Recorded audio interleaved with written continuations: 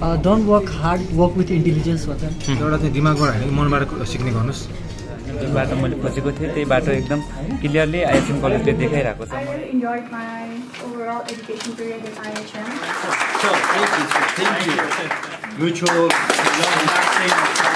म त एउटा सानो प्रयास गरेको छु। पाँच सालको भित्रभित्र तपाईँले पचासवटाहरू तपाईँ सेफ हेर्न सक्नुहुन्छ।